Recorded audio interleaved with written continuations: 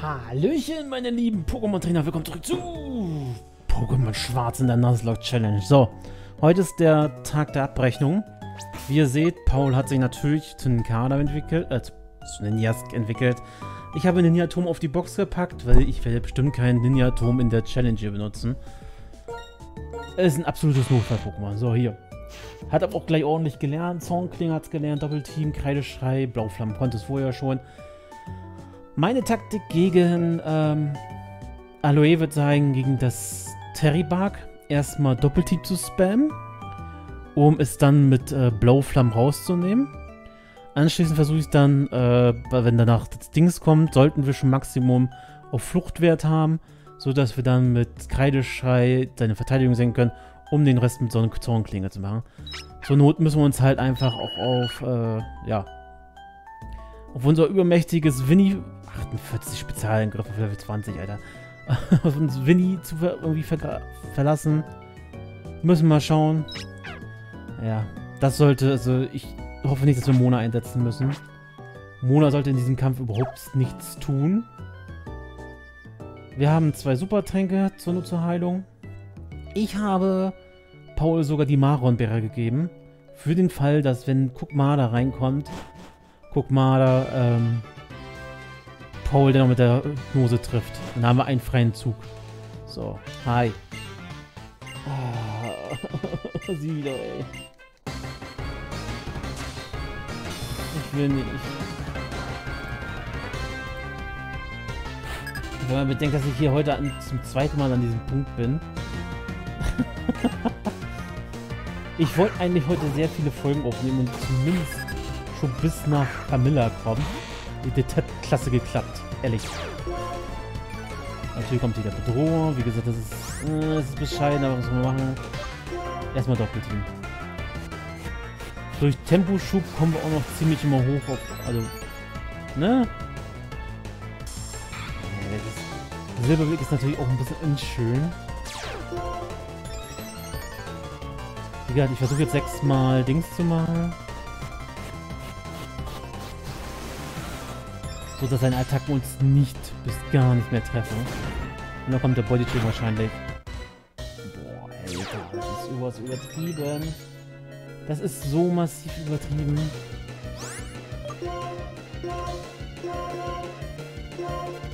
Ja, das war...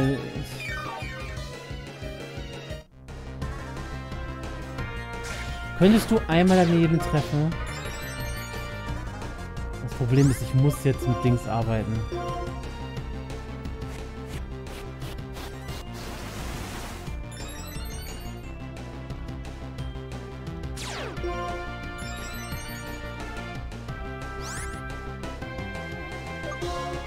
Ich werde mal jetzt schon mal den letzten Trank benutzen.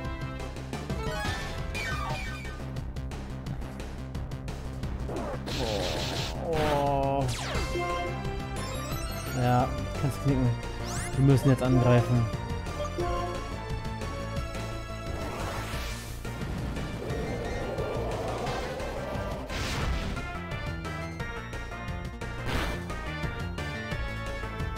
Gut, sie sind hingegangen.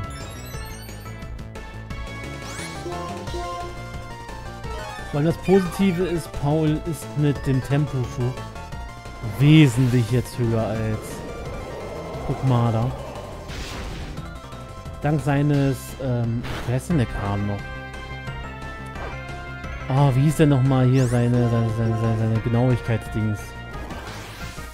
Trifft Blauflammen so gut wie immer.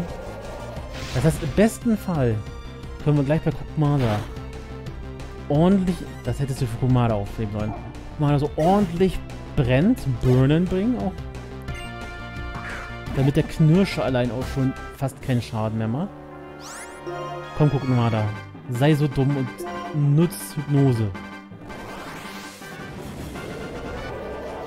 So. Bitte mach Schaden, bitte mach Schaden. Ha! ha. Komm, komm, komm. Verbrenne, burn. Burn, burn, burn, burn. Komm schon. Damn it.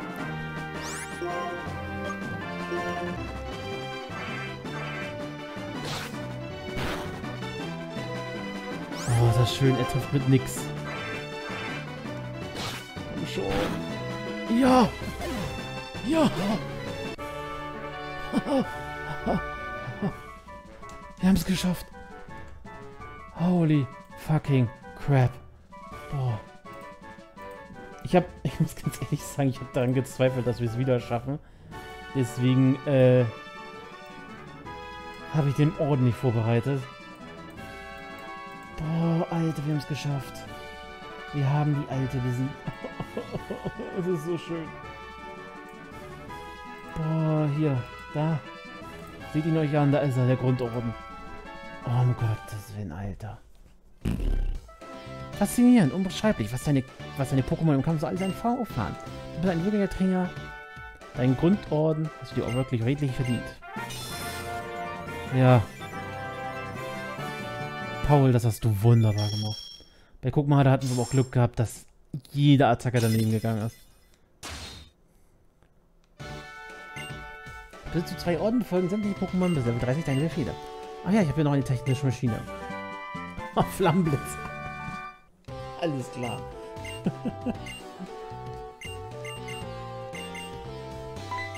Schatz. Schatz, Hilfe, es ist etwas ganz Furchtbares passiert. Die Keller 50 Personen so, wollten den Draco-Schädel stehlen. Was? Das darf ja wohl nicht wahr sein. Adam, du kommst am besten auch wieder mit. Okay. Wurden hier Sachen geklaut. Gut, dann helfen wir dem mal. Hey jeder, jetzt lass doch mal den Unsinn. Sieh an, sieh an, die Arena uns persönlich. Wir, Team Plasma, werden den Pokémon schon bald den Freiheit schenken. Und dazu werden wir den Draco-Schädel aus dem Museum uns nehmen. Um euch zu zeigen, wie ernst wir es damit meint, schnappt ihn euch direkt vor der Nase weg. Nun dann, auch Wolke.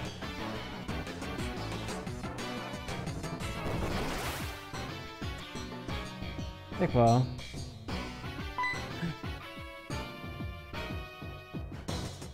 Was so gut. So, du, die müssen wir verfolgen, sagte er und bleibt da stehen.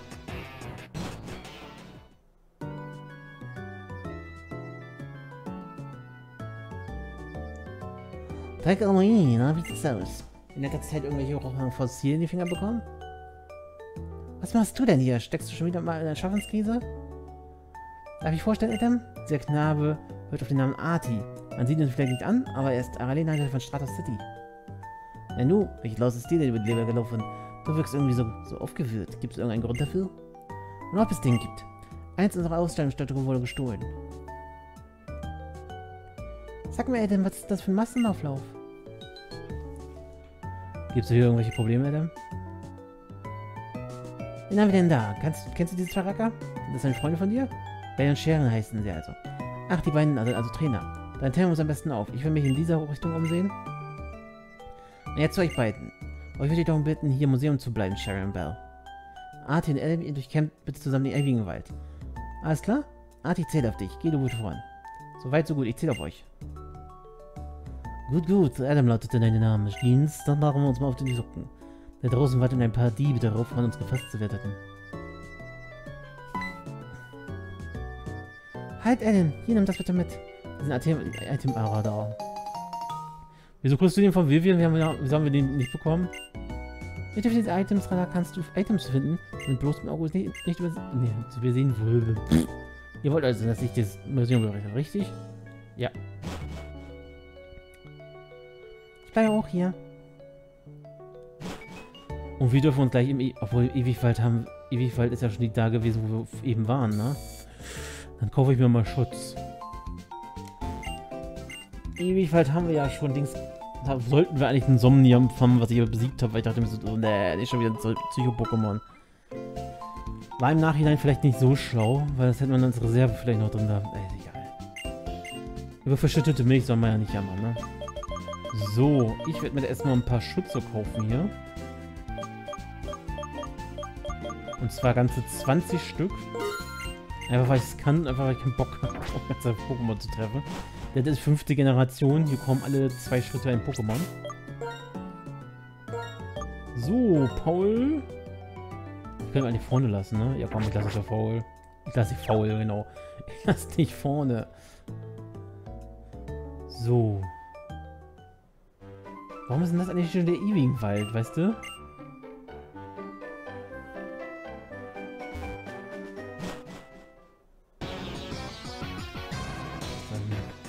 Es gibt zwei Wege, in den Nebelwald zu verlassen. Eine führt geradeaus, der andere schlängelt sich fertig sich. Ich gehe geradeaus und versuche sie einzuholen. Und selbst wenn sie nicht den Weg genommen haben sollte, schneide ich ihnen den Flucht ab. Würdest du ne den hier nehmen? Nachsehen, ob sie da verstecken? Du triffst sicher auf einige Trainer. Im Prinzip gibt es nur einen Weg. Darauf kannst du das nicht. Dann tun wir das für alle hin. Ich möchte aber auch erstmal geradeaus, weil hier sind Trainer. E zum Beispiel. Ah, wir haben ein paar normale Trainer. Wir haben sogar Aloe tatsächlich geschafft, Alter. Ich bin so, ich bin so glücklich. Antal. Oh, Name Antal. Los geht's, Paul. Unser Held. Der nicht ein Level gemacht hat durch Terry Bark und durch Nada. Süß. Nimm, nimm, nimm, nimm, nimm. Nochmal. Und ciao. So ein Klinge wird ja mal in jedem Angriff stärker. Hi.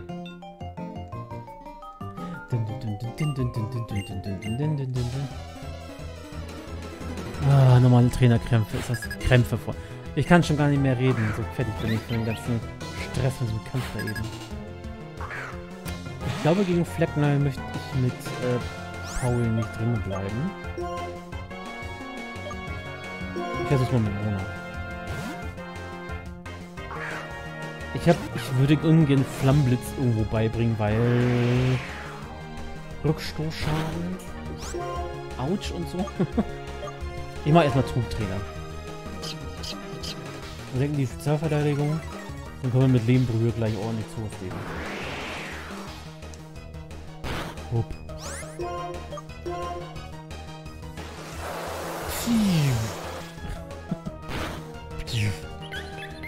Ciao.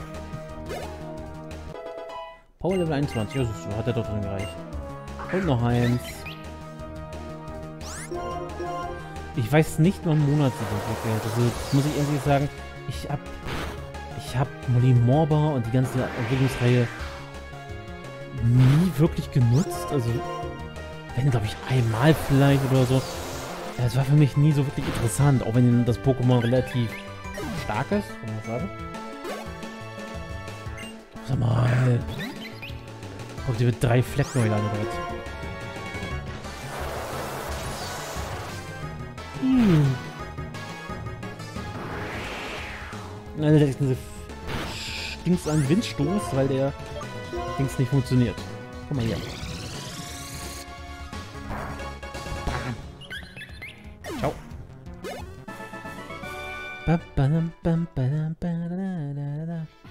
So, dann packen wir mal Paul nach hinten.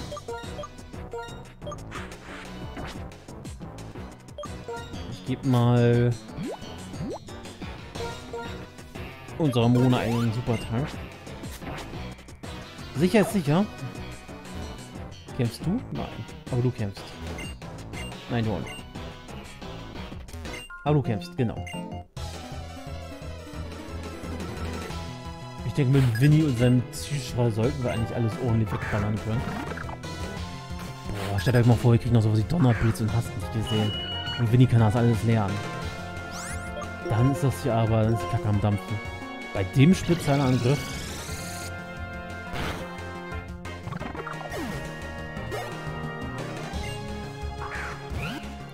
Nein. Auge behalte ich jetzt auch erstmal. Aua.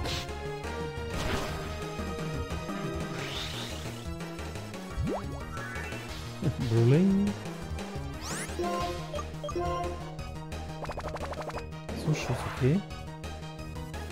Spoiler. Ja. Alles klar. Hier, nimm mal Typ drauf.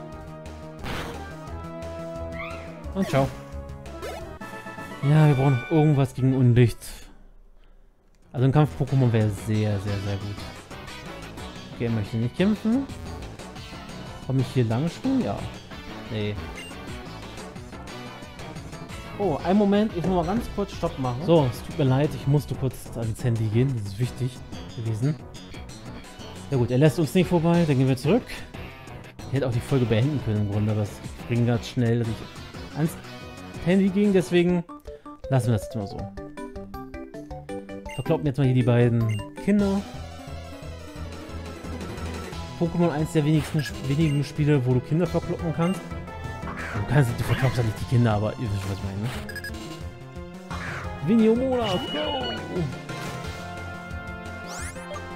Winnie setzt Psystrahl ein und du setzt Blauflamme ein.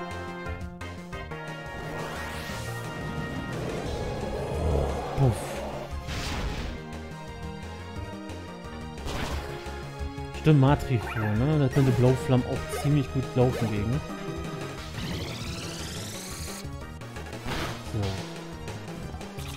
Aua.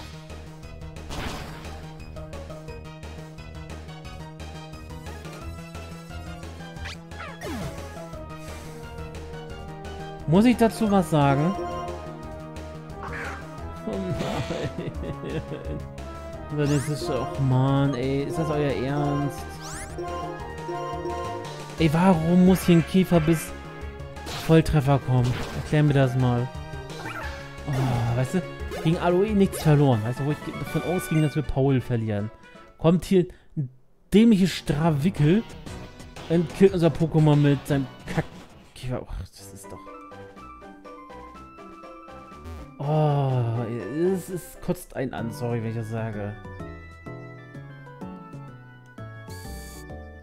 So, wir wieder auf zwei Pokémon runter. Why not? Soweit ich weiß, können wir in Stratos City auch noch eins fangen.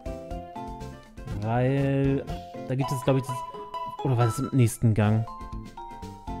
Ich glaube, das war im Pokémon Schwarz 2, glaube ich. Das mit der Kanalisation dort. Ich glaube, ja. Och Mann, Alter, ernsthaft. Komm auch nicht dazu, mal in Ruhe eine Folge nach der nächsten aufzunehmen. Nein. Entweder muss ich trainieren oder ich muss irgendwie den Rahmen wieder mal ändern. Das war, weil ich mich mal beschwert habe, dass wir ein reines Psycho-Team haben. Seid ihr ehrlich. Ja. Jetzt haben wir unser, über, unsere übermächtige Winnie und unser, unseren MVP aus dem letzten Arena-Kampf Paul es, es ist... Ich muss an jemanden meine Aggression abbrennen. Und da habe ich gerade einen Prisma Team Plasma Typen gesehen. An dem muss ich meine Aggression rauslassen. Du! Ja, komm. Schnauze. Du wirst jetzt platt gemacht.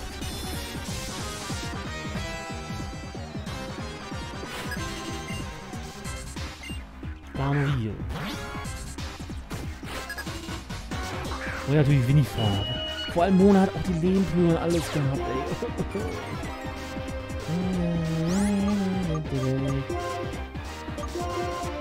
Paul übernimm du das mal. Das kann ich mit Winnie schlecht machen. Aber ohne Bodenattacke oder so. Nein, ich natürlich. Zornklinge.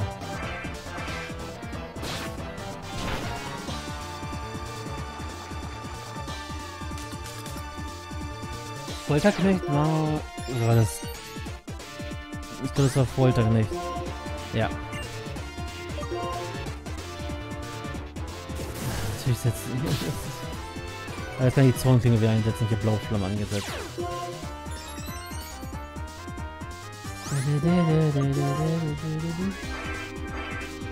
Zack. Ciao.